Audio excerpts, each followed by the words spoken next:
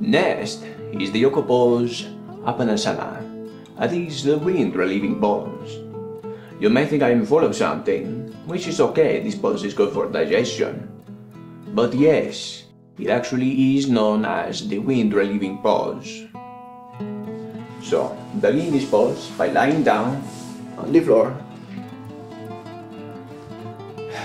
And with an exhalation, bring your legs up 90 degrees. So, your legs now look like you have passed out in the park with your legs up on a park bench. And yes, I have seen this before. With an inhalation, bury your tailbone and your shoulder bones into the floor. Exhale and bring your legs toward you while grabbing onto them. Make sure your tailbone stays buried in the floor. Hold this for a moment.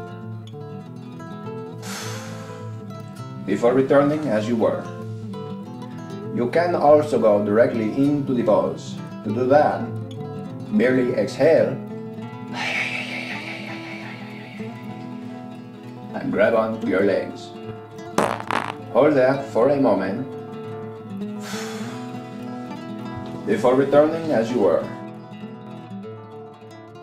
This pose is good for elimination, not illumination, elimination.